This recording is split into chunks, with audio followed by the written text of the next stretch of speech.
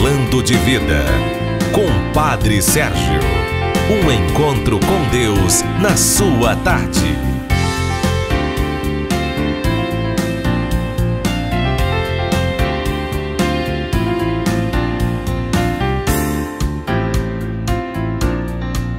Boa tarde, boa noite, bom dia. Seja a hora que você estiver nos acolhendo agora, muito bom estar com você e partilhar com você a palavra de Deus na alegria, na fé, nos dons que Ele mesmo nos dá. Porque tudo é dádiva e Deus nos ajude a descobrir isso no nosso meio, sabe? Às vezes até num probleminha que às vezes está uh, chegando a nós, às vezes até num problemão, ali também tem bênção, tem dádiva escondida ali, porque Deus não permite que nada nos aconteça sem que algo possa trazer o bem. Está lá em Romanos, no capítulo 8, verso 38. Tudo concorre para o bem daqueles que amam a Deus, daqueles que são os eleitos, daqueles que são os seus amados. Então que você assuma isto. E por isso os nossos dias, eles são fecundados pelo Natal de Jesus. Quando nós falamos né, do ano corrente que vivemos, nós podemos dizer: estamos no ano da graça de nosso Senhor Jesus Cristo de 2000 e tanto, 2016 e assim por diante. Porque é, cada ano, se cada ano é um ano de graça, cada dia é um dia de graça, não é verdade? Então, que você acolha isso, a graça do dia de hoje, mesmo que seja um dia difícil. Não sei como está esse seu dia de hoje, mas saiba, aí a bênção, a bênção, a graça, aí. E na proximidade do Natal, eu quero trazer uma meditação de algo que tem batido no meu, no meu coração por estes dias e por isso eu falo com você hoje sobre celebrar o Natal no atual contexto que nós estamos atravessando, vivendo no nosso país.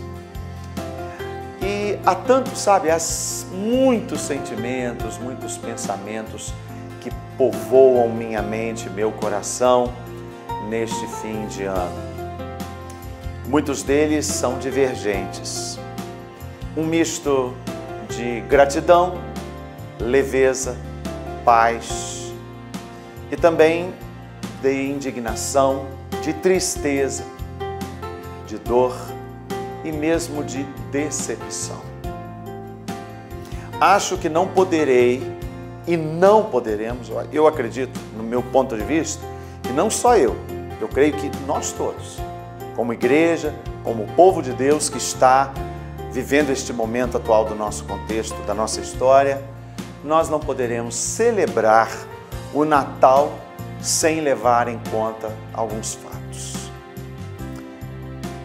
Eu começo dizendo que, puxei um pouquinho na sua memória, o mês de novembro ele foi fechado e, consequentemente, dezembro foi aberto com quatro acontecimentos muito tristes, pelo menos para mim a tragédia com o avião que levava a equipe da Chapecoense, a aprovação pela Câmara dos Deputados, agora está tramitando no Congresso da PEC, chamada PEC 55, as manifestações violentas em Brasília e também a aprovação pelo Supremo Tribunal Federal, o STF, do aborto até o terceiro mês de gestação.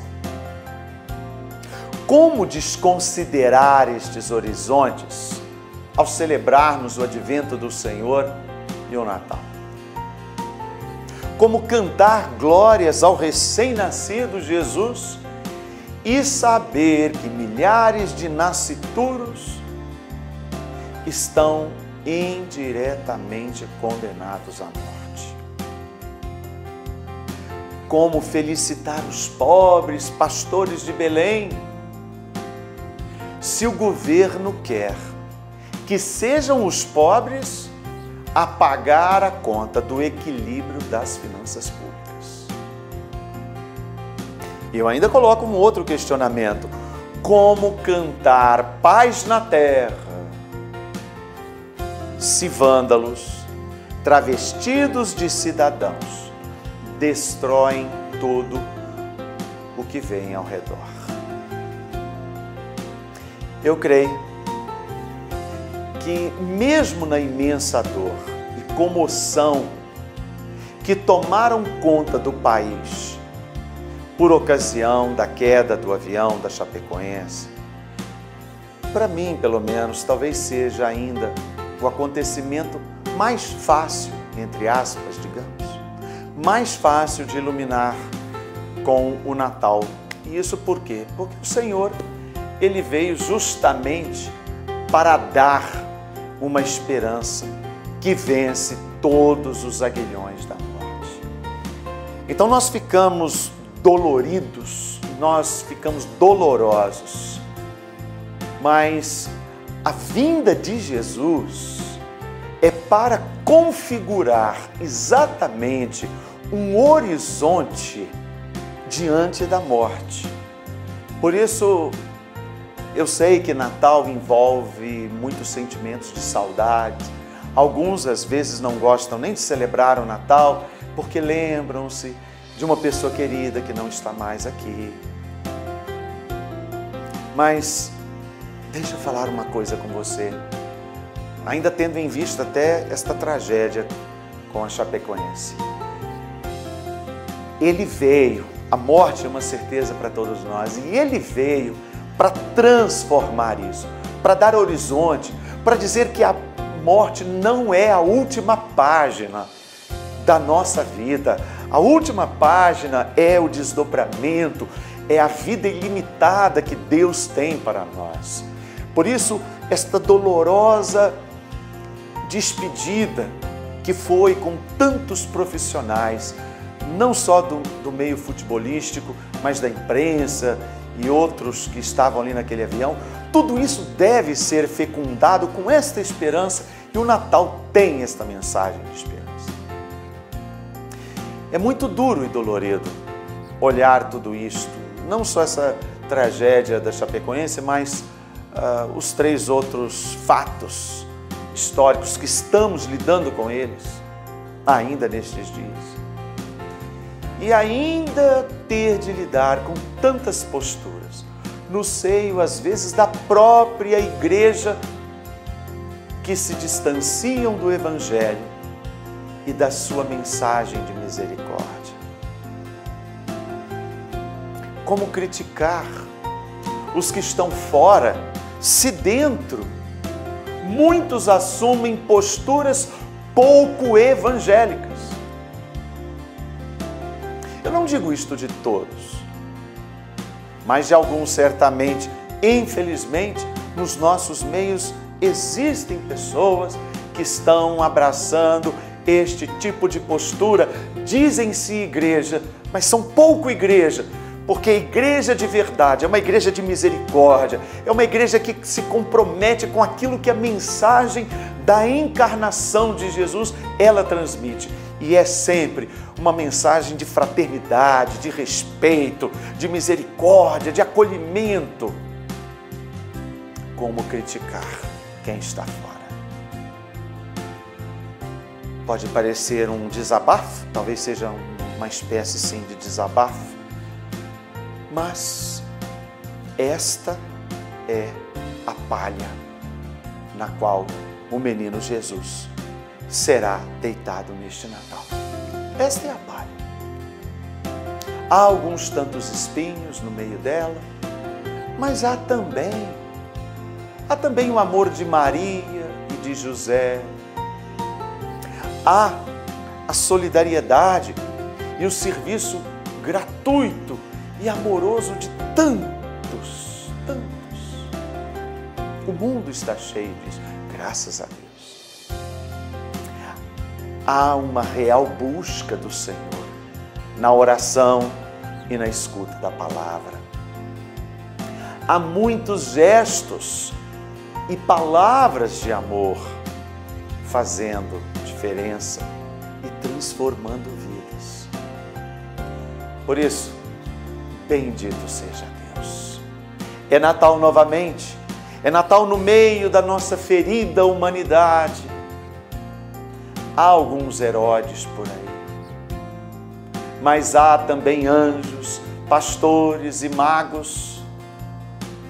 E isto me faz acreditar que é possível celebrar com toda alegria, esperança e fé a vinda contínua do Salvador.